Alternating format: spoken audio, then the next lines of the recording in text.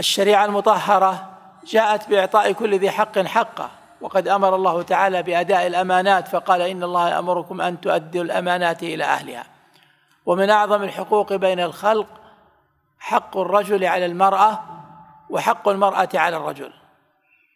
أما حق المرأة على الرجل فقد قال النبي صلى الله عليه وسلم إن أحق ما أوفيتم به من الشروط ما استحللتم به الفروج.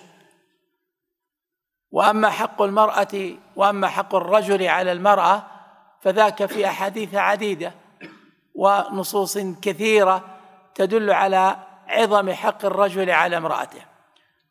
وقد جاء في النسائي من حديث عائشة رضي الله تعالى عنها أنها سألت النبي صلى الله عليه وسلم فقالت يا رسول الله ما أعظم ان من أعظم الناس حقا على المرأة؟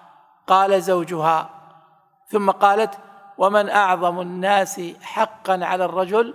قال أمه. قال أمه.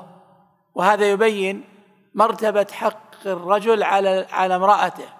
وهذا لا تنقص فيه للمرأة بل هو بيان للحق الذي فرضه الله تعالى على المرأة للرجل.